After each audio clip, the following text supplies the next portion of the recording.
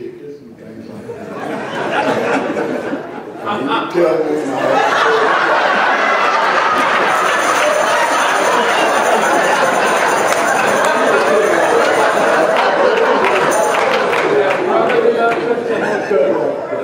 anyway, he, uh, I thought I was going to talk to him. But anyway, let's put, uh, let's do the dance. I mean, boy, he was dancing. We was at the club. I mean, he just had.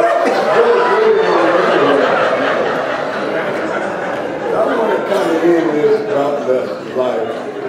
As he grew up, and, uh, and I, Lester struggled with sobriety during a uh, time in his life. He struggled with sobriety. He finally overcame. Lester did what he did. Lester turned around and helped many people.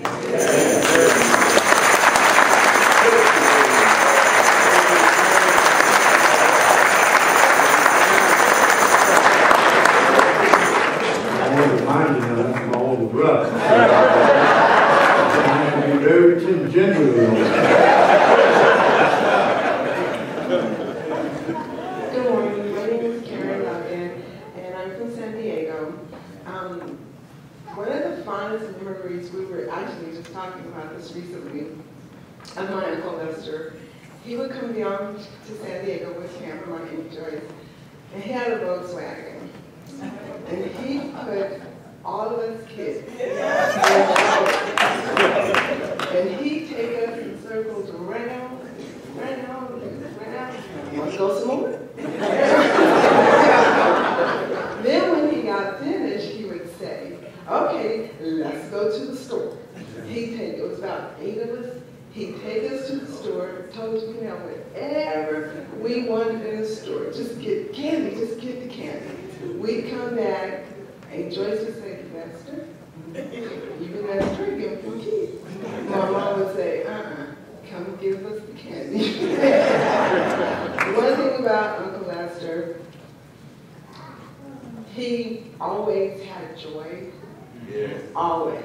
There was never a time you couldn't call him, and he had that energy, and he had that spirit, and he'd give us words of encouragement. And he would keep us focused. He wasn't fuss, he would just keep us focused. To my angels that I love so much, and my Pammy, and our newest member of our family, Derek.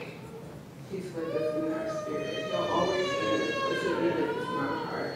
And we will always love him. And we love him.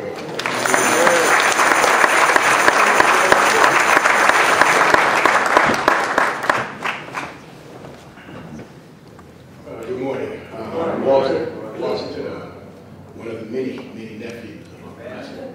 Um, You know, there's not really too much more I can say, but uh, I always remember uh, Uncle Lester, you know, staying sharp, and that's the only man I know that wore that shag as well as he did.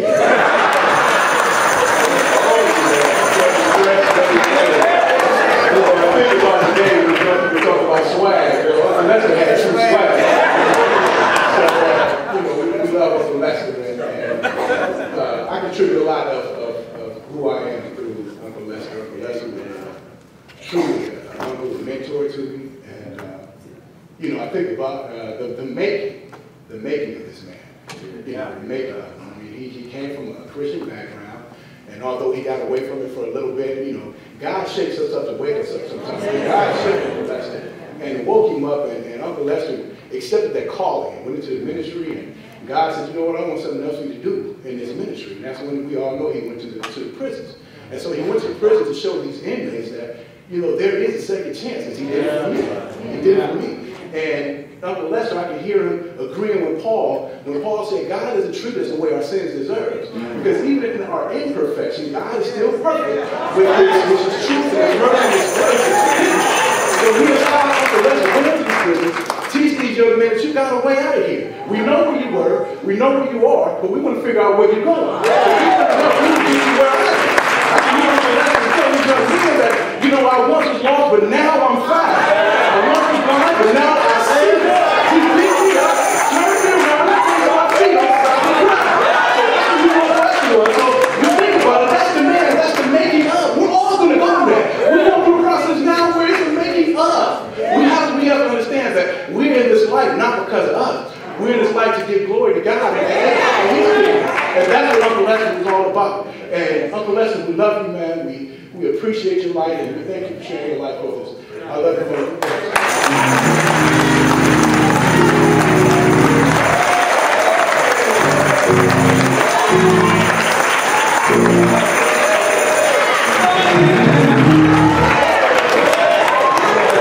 At